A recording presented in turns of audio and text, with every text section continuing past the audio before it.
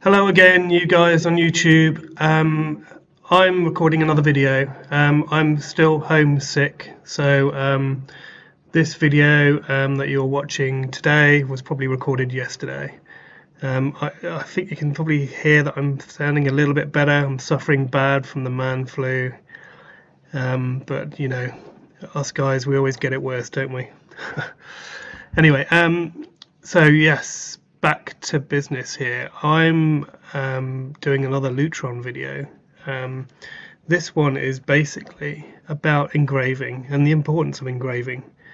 Um, there's nothing more annoying than a control system that's been installed that is not intuitive on how to control. There's a lot of systems out there that are installed by alleged custom install professionals and they're not completed as they should be.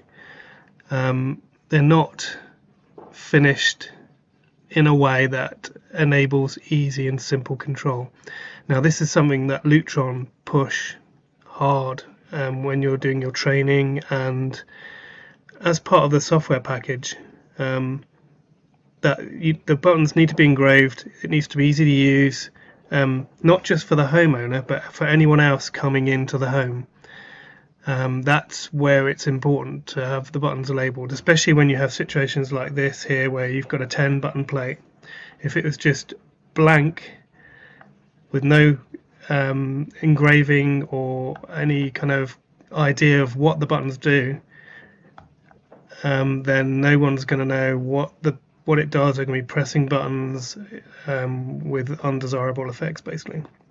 So one good thing with Lutron is you've got an extensive range of plates and things. Um, here we go. So if, we, if I just scroll through, there's some US type plates. There's this, these are, this is basically all the Lutron equipment or control equipment available.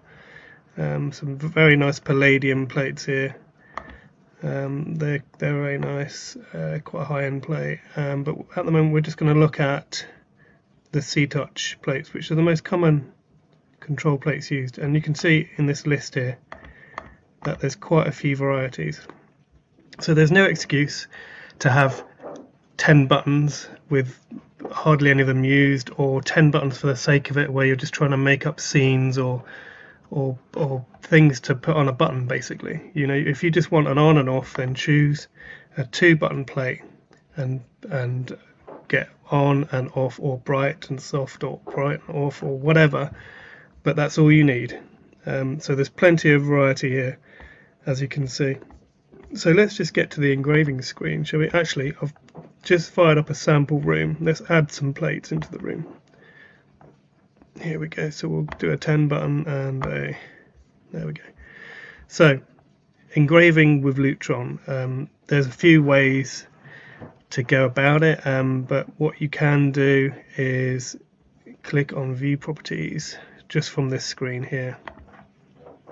And you basically get an image of your plate. Um, here you can also change various settings um, you can change here um, so if for any reason you think oh no actually I want six buttons you can change the button count from this screen as well which is very useful um, so I'll go back to a 5 button there.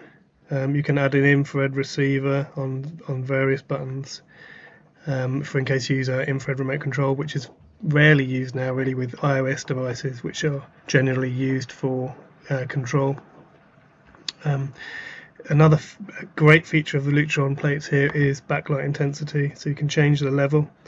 Um, and you can also, I believe, change the level um, depending on conditions. So at a certain time of the night, I believe you could change the, the brightness level. Um, but this is great for in bedrooms where people, you know, they don't necessarily want this this bright glowing switch the opposite side of the room in their bedroom when they're trying to get some sleep. Um, so you can disable or at least lower the level as well um, of backlight intensity. Um, we move across here to appearance. Now there's lots of there's also lots of metal finishes. Um, you've got antique brass, I think it is there. So looks antique brass. satin brass, uh, bright brass, there's satin nickels, satin chromes, bright chromes, um, there's Arctic white, so these are basically just plastic faceplates. And there's also glass faceplates which you can use. Um, there's a, that's a it looks like a plastic faceplate on the diagram, but it's actually a glass, um, a, a, clear white glass uh, faceplate. So on to engraving, which is why we're here. Actually, I'll just change the appearance back to um, what we were working with, satin nickel with black buttons. Um, you can also obviously spec as a special um, if you wanted the satin nickel with white buttons, then you can do that as well if you like.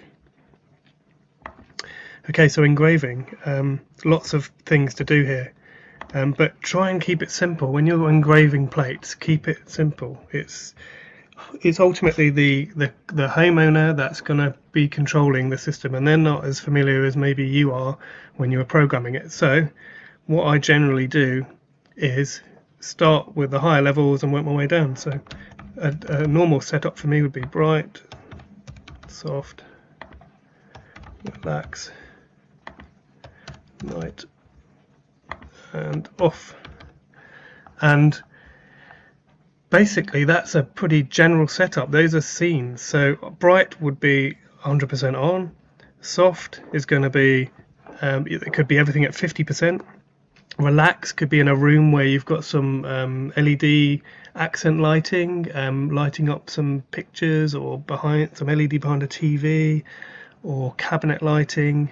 And then night would be like a bare minimum light level. So um, just so if you get up in the middle of the night and you want to go and get a glass of water, you could press the night button and it can just bring on a path of low level lights to the kitchen or wherever. It depends on how you want to program it. But that's generally a really simple um, example of how um, how simple it can be. Um, you can also, if you really wanted to, you can put symbols on here as well. So um, I mean, sometimes they work. Um, you could have a cinema room, I guess, where night is actually you could be movie.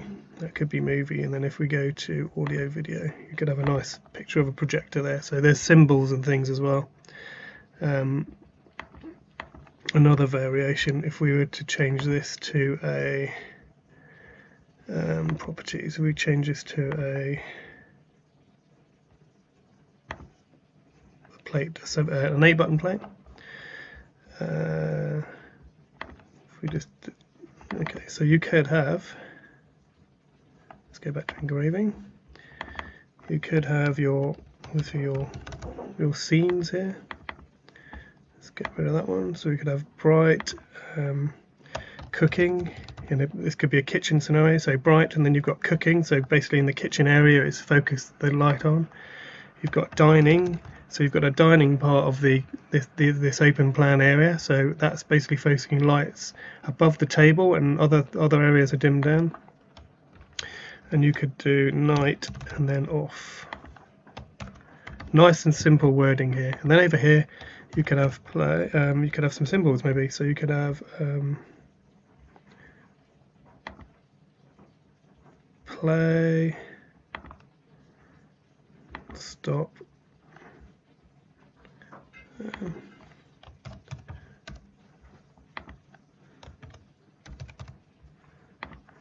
next track or something like that. Oh, yeah. There we go, next track. So you could have some music, audio. Um, uh, buttons on the side there. Or if um, another example um, you know only using plates where the buttons are being useful. So you could have open so shades this could be shades. Open stop. Close. There we go. Really simple intuitive.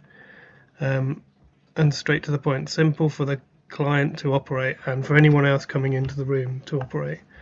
Um, you can do fancy things. Oh, actually, I've just noticed this this keypad here has got um, the IR window here. Um, this normally isn't isn't isn't there. Um, if we just change the properties again, try 8BOL. There we go. So that that's it basically without the IR window. But yeah, this, this is a, this is a as complicated as you need to make it. Um, Lutron's all about making sure um, things are engraved. So when you purchase their control plates, you basically get free engraving credits um, as a dealer. So you can um, create a an engraving list. Um, let's just click done here. So if we hover over, you can see here um, it shows that we've actually got some engraving. Um, so if I go up to reports, then engraving, this is basically the engraving uh, information you get. And straight from here, they make it as simple as possible. You can click order engraving.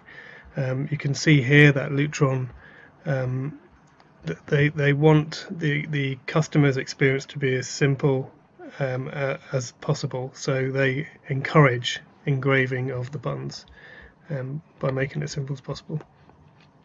And as I was saying before, they, they offer free engraving credits um, when you buy when the when the uh, the dealer buys plates. So there's no excuses at all to at least get some kind of engraving um, on the on the control plates.